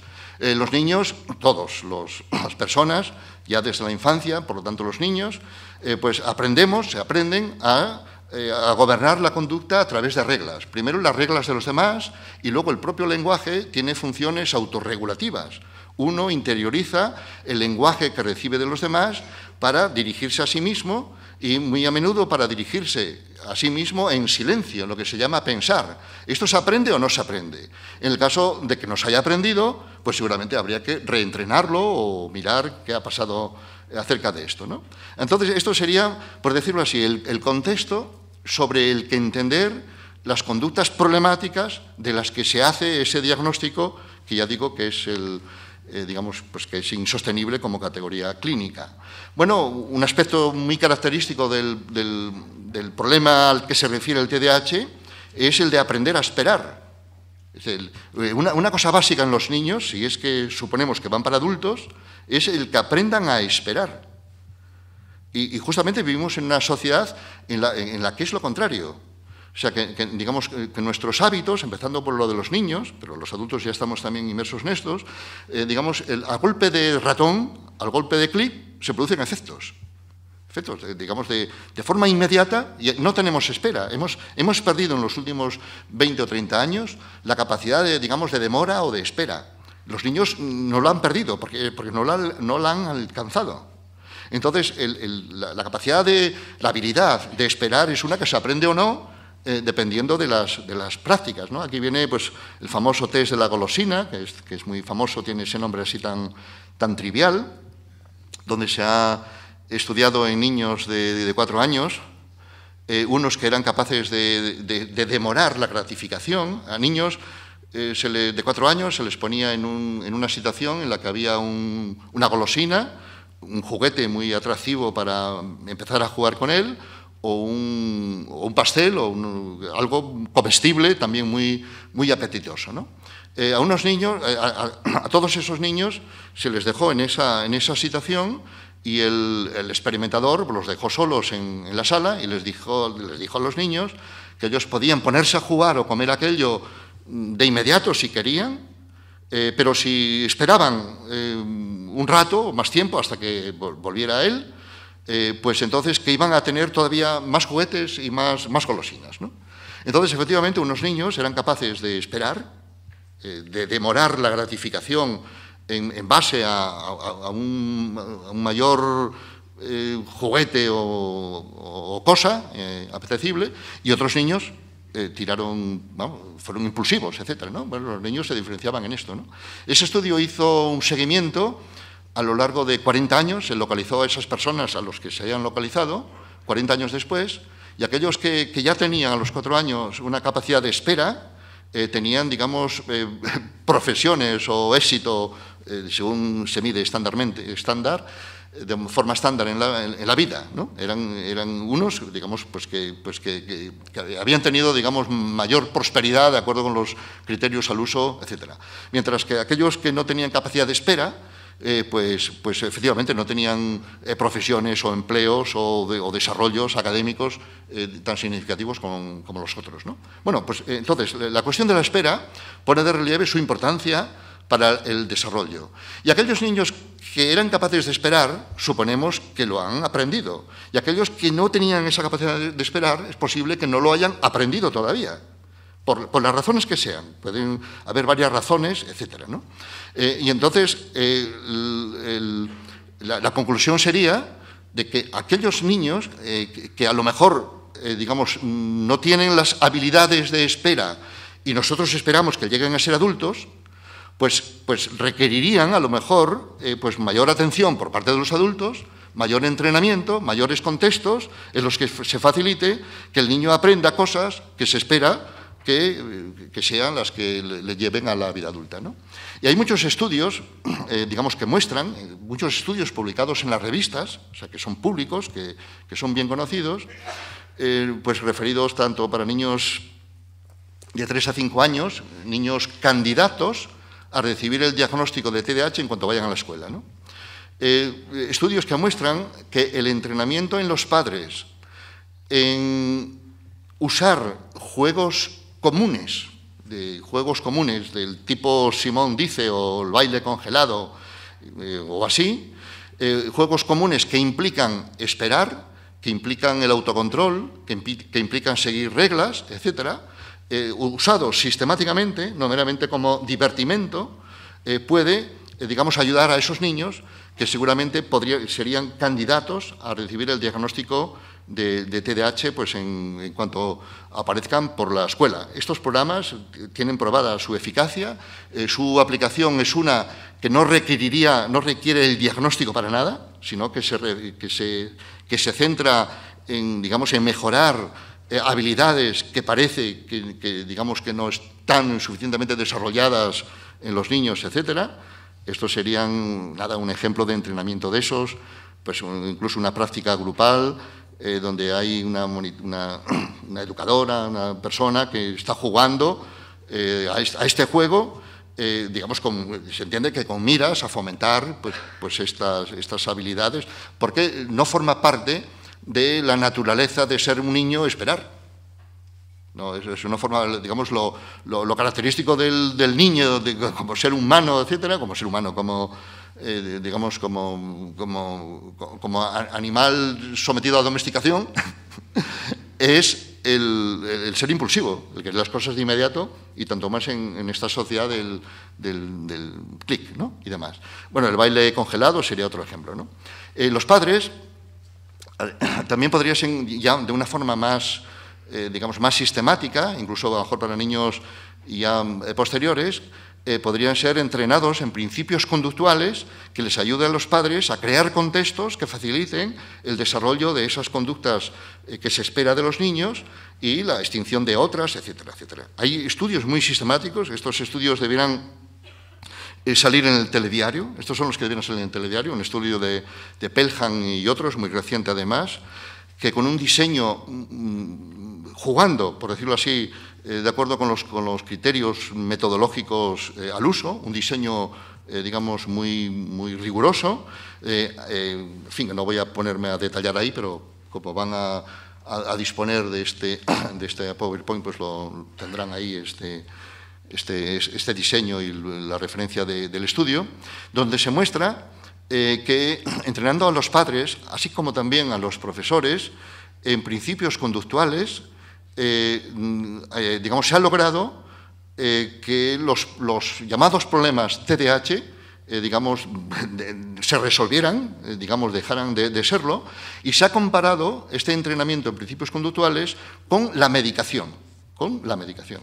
A unos niños se les ha, a padres y profesores se les ha entrenado en principios conductuales y a otros, y a otros se les ha dado la medicación estándar al uso.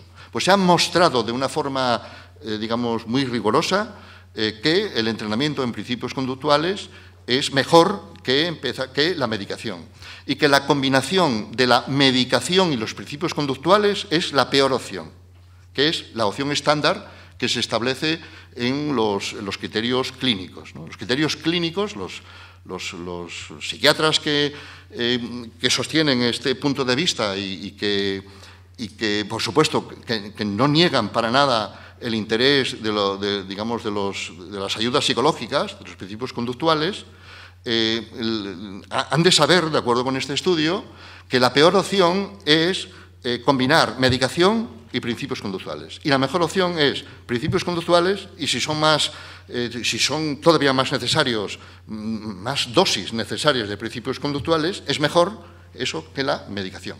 Este estudio es uno, este es el que debiera salir en el telediario, eh, digamos, en, pues de, las, de las tres, el de las nueve, varios días a la semana explicado. Estos, bueno, pues nada, estos son los resultados de ese estudio, que no quiero perder el tiempo en ello. Eh, curiosamente, eh, los, los, padres a los que se les explicó esta, esta, opción y que se, se avinieron a, a, a, ser entrenados en principios conductuales para hacer ellos, en, digamos, en casa, eh, fueron los que, estaban, los que asistieron más, los que, los que, los que se adhirieron más a el al, tratamiento que aquellos que estaban en el grupo de la medicación. O sea, que, al final a los padres, cuando se les explica correctamente eh, uno y otro, eh, ellos, eh, digamos, se implican, eh, digamos, en, esa, en esas tareas, ¿no? Bueno, estos serían, pues, nada, ejemplos de principios conductuales en los que yo no quiero eh, entretenerme más. Eh, ayudas centradas en los niños, hay unas que funcionan y otras que no.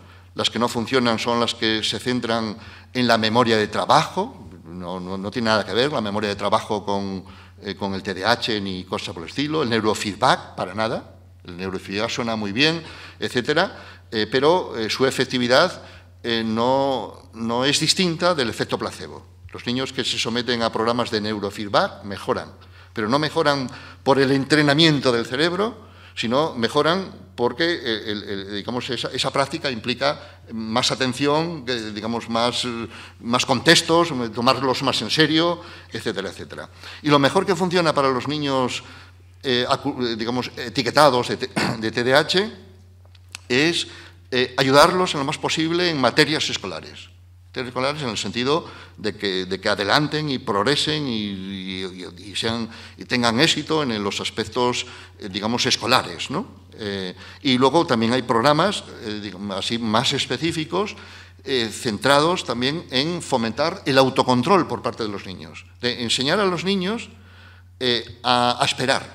En el test de las golosinas, luego se ha visto qué es lo que hacen los niños que esperan, que demoran la gratificación respecto de los que no. Entonces, haciendo, enseñando, entrenando a los niños a hacer las cosas eh, que, ya hacen los niños que son capaces de demorar la gratificación, pues estos también lo pueden aprender. Hay cosas, eh, digamos, que facilitan eh, el aprender a, esperar y otras que no. Entonces es mejor hacer las que no, las que, vamos, las que, ayudan pues a, a, esperar, ¿no? Y conclusiones por, por fin. Pues de acuerdo con mi, con mi argumentación, eh, pues yo entendería que el TDAH nunca debiera haber salido de la escuela y la familia para entrar en el circuito de la clínica. Eh, que los educadores, pedagogos, psicólogos debieran confiar más en sus propias ciencias, en lo que estudian de, psicología del desarrollo, de principios conductuales, eh, digamos que estar preocupados eh, por establecer diagnósticos o que a los niños los diagnostiquen y, que es una práctica, la, del diagnóstico es una, práctica de exclusión, no de inclusión. típicamente es separar a unos, diferenciar a unos niños eh, de otros por, algo que puede ser eh, luego estigmatizante.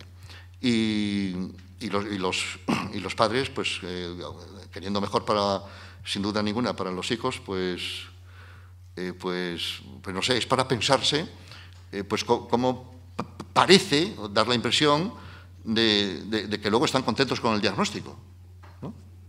cuando el diagnóstico es el principio de, en mi opinión, el principio de los problemas más que el fin de las, eh, de las soluciones. Pero estas son conclusiones muy abiertas. digamos, el tema del TDAH sigue controvertido después de mi exposición y yo, pues hasta donde, donde sepa y donde permita el tiempo, pues, pues quedo aquí a disposición de, de, de todos ustedes.